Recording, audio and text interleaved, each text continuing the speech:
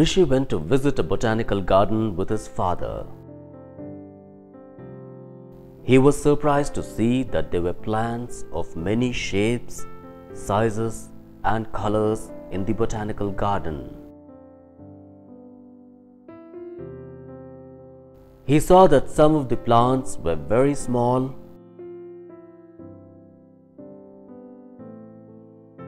while some of them were very tall. Some of the plants were spreading on the ground and some of them were twisted around other plants. Rishi started wondering what type of plants are they? Where are the stems of these plants? Can you answer these questions? Let's find out. What did Rishi's father tell him about these plants?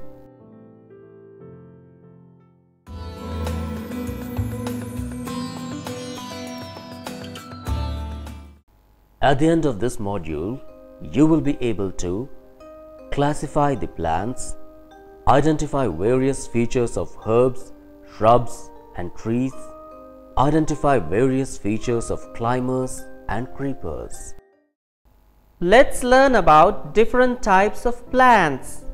Plants can be mainly classified as herbs, shrubs and trees.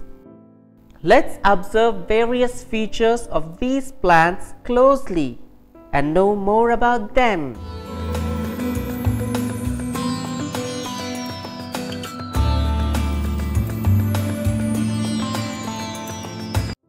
Herbs are very small and weak plants. They have thin, green and soft stems. They are usually short and do not have many branches. They live only for 3 to 4 months. Some examples of herbs are ginger, garlic, mustard,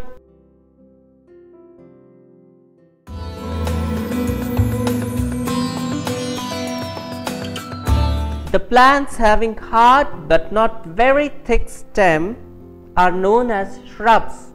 They are larger than herbs but smaller than trees. They are also known as bushes. These plants have the stem branching out near the base. They live only for a few years. Some examples of shrubs are hibiscus and rose.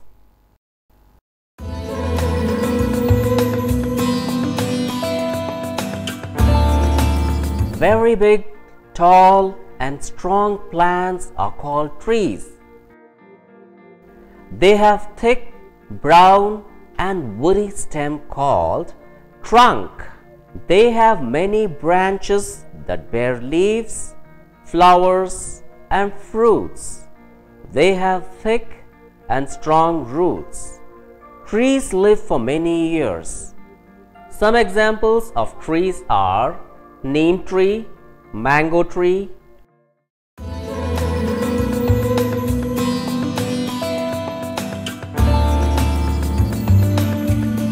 Now look at some other types of plants also. Plants with weak stems that cannot stand straight and spread on the ground are called creepers. While the plants that take support of neighboring structures and climb up are called climbers. Generally, creepers bear big fruits and that is why they are not able to climb up. The climbers, on the other hand, have small hooks which help them to climb onto other plants. Examples of creepers are pumpkin and watermelon. Examples of climbers are money plant and grapevine. Let's have a quick glance on all of these plants. You have now reached the end of this module. In this module, you learn that plants with green and tender stems are called as herbs.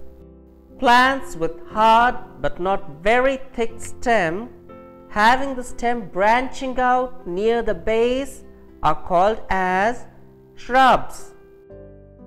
Tall plants with hard and thick brown stem are known as trees. Plants with weak stem spreading on the ground are known as creepers. Plants that take support of the neighboring structure and climb up are called climbers. I hope you must have enjoyed this module.